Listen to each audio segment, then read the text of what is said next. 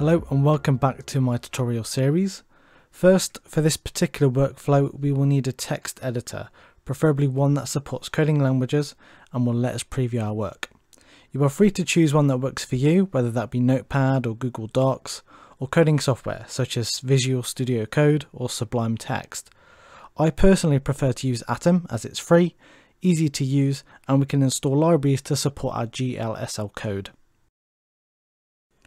To run Atom, we will need to head to their website https.atom.io and download the installer.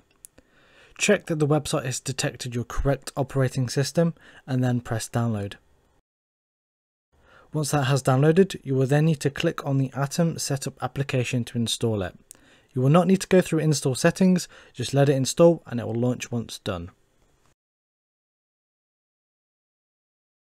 Before we begin writing our code, we will need to install a library that will help us visually see the language as we write.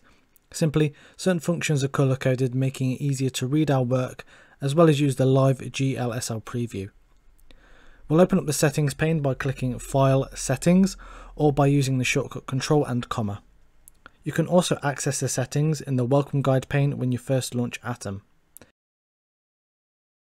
In Settings, click on Install, then we'll search for GLSL and we will want to click on the Install button for both Language GLSL and GLSL preview.